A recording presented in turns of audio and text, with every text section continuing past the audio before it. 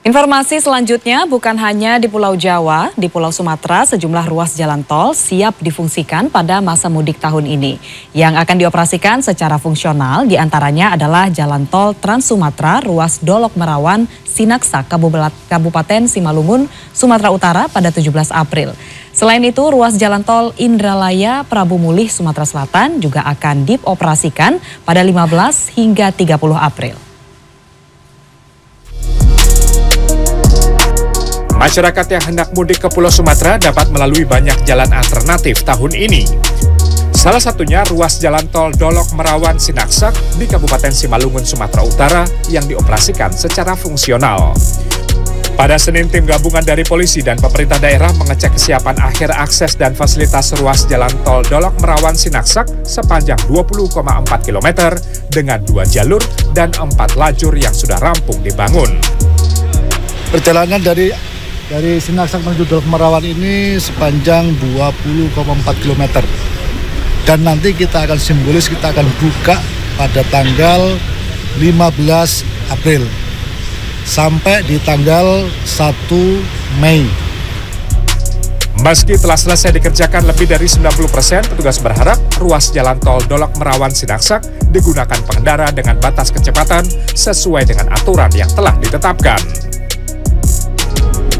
Ruas jalan Sinaksak hingga Dolok Merawan sepanjang 20,4 km akan dibuka secara fungsional menjelang uh, Hari Raya Idul Fitri. Namun pengemudi hanya diizinkan melaju dengan kecepatan 50 sampai 60 km karena di sepanjang jalan masih banyak material yang membahayakan uh, keselamatan pengemudi. Kemudian penerangan jalan juga belum tersedia.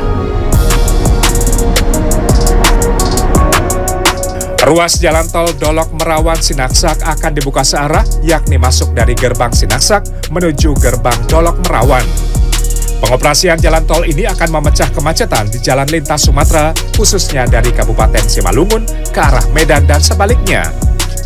Selain itu, pada masa mudik lebaran tahun ini akan dioperasikan secara fungsional jalan tol Tebing Tinggi Indrapura dan Stabat Tanjung Pura.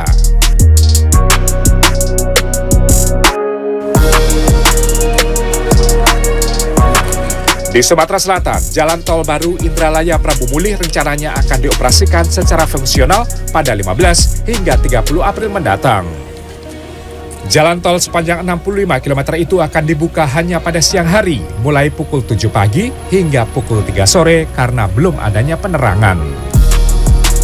Namun secara umum tanggal 15 jam 7 pagi sampai jam ditutup jam 16 sore tol dibuka uh, sementara uh, operasional ya kan sampai dengan tanggal 30 April. Itu. Pengerjaan pembangunan jalan tol sepanjang 65 km ini belum selesai 100%. Hanya ada sekitar 7 km yang sedang dikerjakan. Pada bagian itu baru satu jalur yang tersedia sehingga nantinya akan diberlakukan kontraflow sepanjang 7 km dari Prabu Muli menuju Indralaya. Di sepanjang jalan tol tersebut hanya ada satu rest area yang nantinya bisa dijadikan tempat istirahat pemudik. Dengan adanya jalan tol yang menghubungkan Indralaya Prabu Muli, maka waktu tempuh dari Palembang menuju Prabu Muli hanya sekitar satu jam. Adapun bila melalui jalur lintas tengah Sumatera, waktu yang diperlukan dua setengah hingga tiga jam perjalanan dengan menggunakan kendaraan roda empat. Tim Liputan CNN Indonesia.